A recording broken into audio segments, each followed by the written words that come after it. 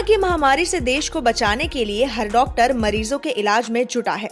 और वो कई दिनों तक शहर में होने के बावजूद अपने घर नहीं जा पा रहे हैं। भोपाल के मुख्य डॉक्टर और स्वास्थ्य अधिकारी डॉक्टर सुधीर डेहरिया ने एक मिसाल पेश की है। डॉक्टर सुधीर डेहरिया की एक फ़ोटो वायरल हो रही है, जिसमें वो अपने घर के बाहर बैठकर चाय पी रहे हैं। दरअसल ये फ़ोटो इसलिए वायरल हो रही है क्योंकि सुधीर डेहरिया पाँच दिन बाद अपने घर पर आए हैं और घर के बाहर बैठकर चाय पी रहे हैं। डेहरिया की पत्नी और उनके बच्चे भी उनसे दूर खड़े नज़र आ रहे हैं। उनका परिवार कोरोना वायरस के की जाने वाली सोशल डिस्टेंसिंग का पालन कर रहे हैं। ये तस्वीर बता रही है कि कोरोना वायरस के चलते किस तरह से डॉक्टर डेहरिया लगातार अपनी ड्यूटी कर रहे हैं और समाज के लिए मिसाल बन रहे हैं।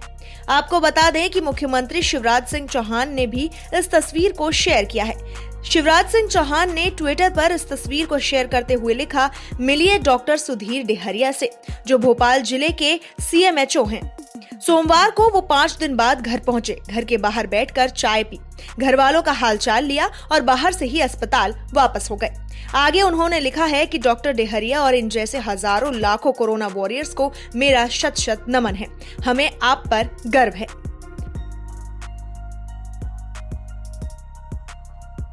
News desk.